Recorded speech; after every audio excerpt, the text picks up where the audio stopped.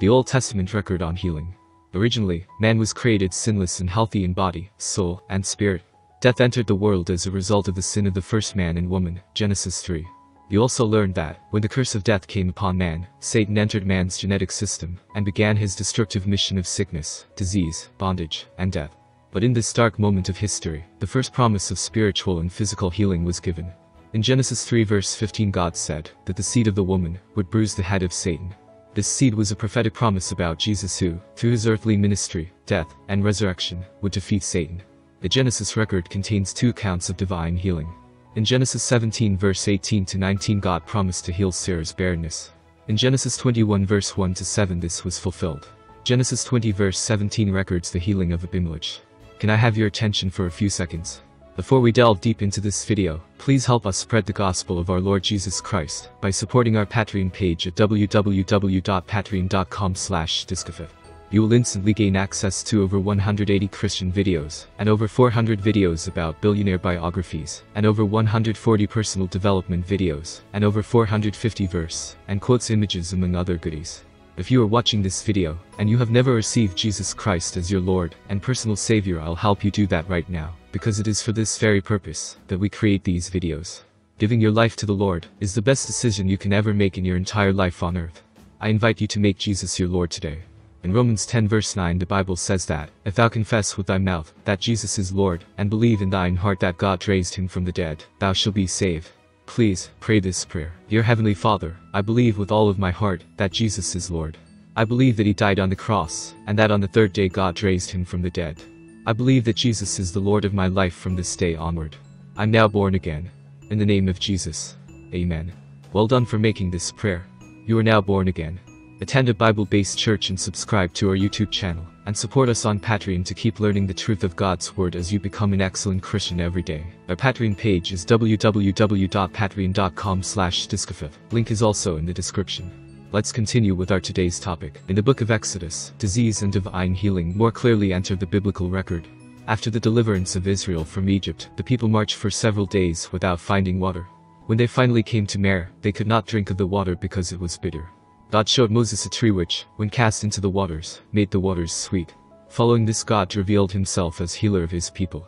He said, If thou wilt diligently hearken to the voice of the Lord thy God, and wilt do that which is right in his sight, and wilt give ear to his commandments, and keep all his statutes, I will put none of these diseases upon thee, which I have brought upon the Egyptians. For I am the Lord that healeth thee. Exodus 15 verse 26. The more accurate translation of this is I am the Lord your physician.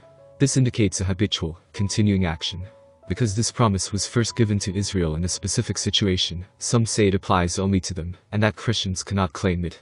We must remember, however, that the names of God are revelations of his nature and character, and God does not change. If he was by nature a physician and healer then, he is the same today. Other specific references to healing in Exodus are the healing of Moses' leprous hand, Exodus 4 verse 1 to 7, and God's promise to take away sickness from among his people, Exodus 23 verse 25. The book of Leviticus might be called the healthcare manual of the Bible. God reveals regulations regarding the treatment of disease. For an example see Leviticus 13 verse 1 to 46, Leviticus 14 verse 1 to 32, and gives directives regarding healthy living. See Leviticus 15 verse 1 to 33 for an example. The book of Numbers records the healing of the leprosy of Miriam and Aaron, Numbers 12 verse 1 to 15, and the healing of plagues that affected Israel, Numbers 16 verse 41 to 50 and Numbers 21 verse 5 to 9. Deuteronomy 28 is a very important chapter related to healing. It explains the relation of obedience to physical health.